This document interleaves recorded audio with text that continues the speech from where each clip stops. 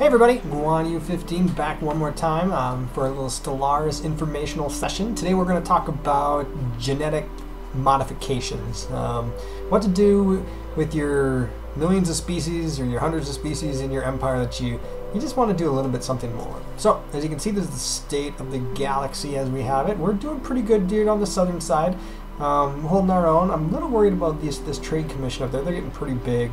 Um, but the rest of these guys are pretty small. We should be able to handle unless they form a giant alliance of some sort. So, uh, so let's scroll back down in here and see. And we're going to go to right into here to species. Now you can see these are the species that exist in our empire. Um, the Uri, the Yukopaknar, the Shrek, the Mek Metpux, Jabanaki, Grachnaplorin, Glust, Werny, and the Av Avery. tells us how many of each population we have as well. Um, this is our main one, obviously, the Avery. We have 289. And we're going to do a few things with these guys. Uh, let's go to modify. So you can see we've researched enough technology where we have four gene points remaining. So we're going to go ahead and go to modify. This brings up the genetic screen.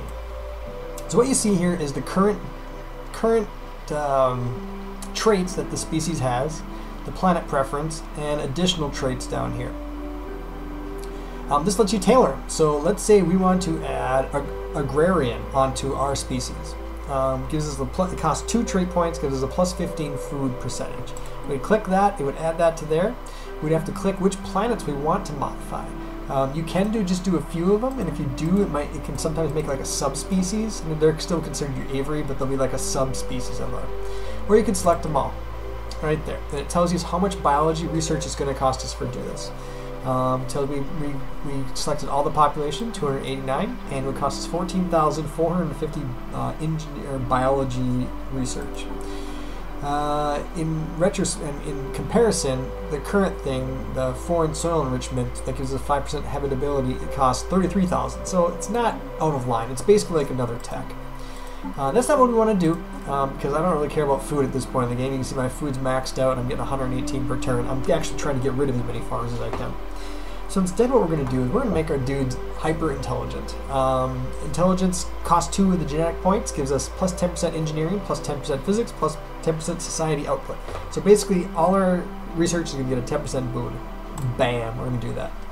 Another thing we're going to do at the same time, because you can do all this at the same time, we're going to get rid of this fleeting, which remember if we started the game, we had our, our leaders die quicker, uh, 10 years quicker which isn't a big deal. I could probably keep it on there, but I just feel like getting rid of it just for the hell. of It costs one point. We'll get rid of that. And we're going to make our guys strong. So they're going to be intelligent and strong, basically the best of everything, right? Costs one point, gives us 20% to our army damage, since I think we will be fighting more on the ground, a little more ground forces, and a 5% bonus to our minerals. So we'll go ahead and slam that in there as well.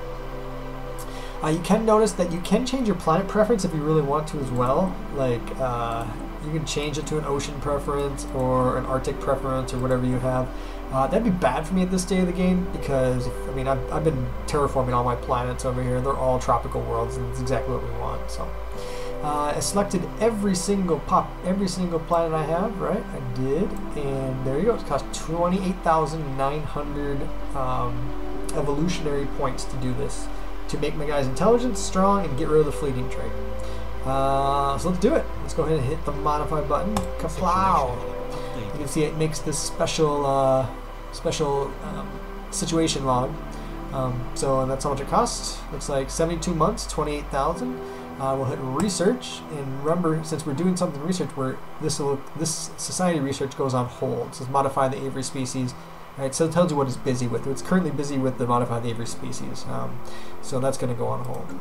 And in a short, was it 72 months? 72 months, we will have a new genetic line to go with. Um, and in just a second here, when 72 months goes by, we'll be back and I'll show you a little bit what it looks like. In a very non-climactic encounter, it simply said species modified. If we take a look at our species list now, you'll see that our main Avery here, 296 of them, there they go, intelligent, strong, and not uh, fleeting. Uh, you can notice that I do have a subset of 12 of these dudes who are not like that. That's because I colonized three planets in the, in the while these guys were uh, genetically modified. So these are not modified. The nice thing though is that it allows me, it gives it gives me four genetic points for these guys as well. So I'm going to do the same thing. It'll be significantly cheaper. Um, let's just take a look at it. Do that.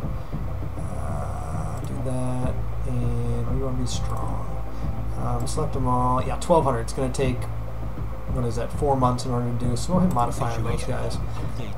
Uh, let's actually do three months. sorry. One thing I kind of thought would be cool too, and one that I mentioned is that we have these groups, this group of people called the Janabi or whatever. Um, if we go look at them, they're around here. They're an Akmal. Um, they're a small group of beings. Um, they're not intelligent. You can kind of think of them like ape-like creatures, and we can't genetically modify them. But what we can do is something called uplift. And that means we put all our technology, all our resources into making them intelligent and sentient.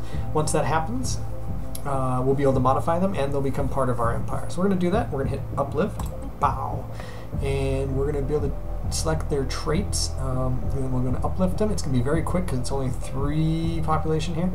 And what I was, what I'm going to do with these guys, I'm going to make them like our warrior caste. So if, if they can populate this planet and we can just build a, a bunch of our military off that off that planet, then uh, that'll work out really well. Um, they're currently savanna preference. Maybe we should make them tropical. I mean, they're gonna, that way they'll move around in our empire a little bit better. And let's make um, where we go. Super strong. We're super strong. Very strong. Plah. Uh, gives us we had five points actually, so we got two more points.